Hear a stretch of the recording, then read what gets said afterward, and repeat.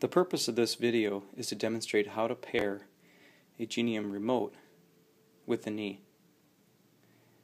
The remote does not come paired when the knee is shipped from the factory, mainly because the knee has to be configured using the My Modes and Selection tab within Xsoft software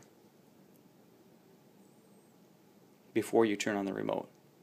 Now the first time you turn on the remote, you just hit the center button that will turn on the remote, and then the down arrow to actually send the configured file from the knee to the remote. Now Genium can only have one Bluetooth connection at a time, so it's important not to turn on the remote when you're connected to the knee in the software. You actually have to exit the software first before turning on the Genium remote.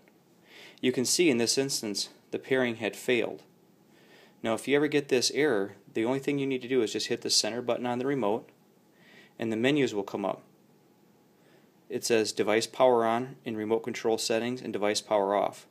Just go to the remote control settings menu, select pairing in order to repair the remote. Again, you see an icon indicating that the file is being sent from the knee to the remote.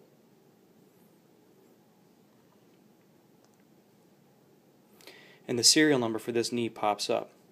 It's important just to make sure that the serial number on this knee matches the serial number shown on the remote. The serial number is located right next to the on the interior part of the knee frame, right next to the hydraulic unit. Now in this example, you can see that the number on the remote indeed does match, so I'm going to just hit the enter button on the remote to select that knee, and it comes up with the name it is OB3B1. So I'm going to just toggle to that name by hitting the up arrow and the enter button to select that knee.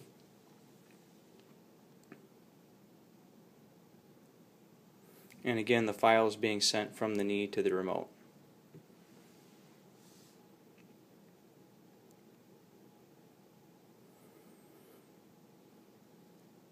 Now if I paired a second time and a serial number didn't come up one of the things that I would have done is gone back to the remote control settings menu and choose delete connection. Once the connection is deleted from the knee, I would turn on the remote a second time, go back to the remote control settings to pairing and try repairing once again.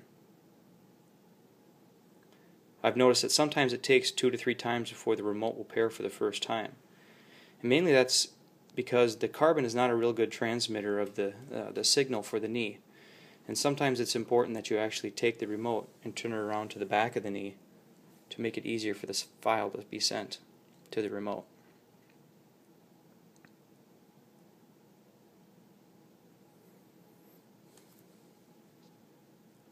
Now the user won't have to do this every time. But one of the things you can see is on the main screen right away what comes up is the name of the knee, the mode, and the status.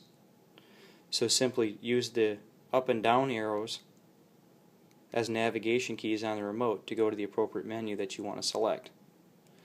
You are now ready to begin using the Genium or X2 remote.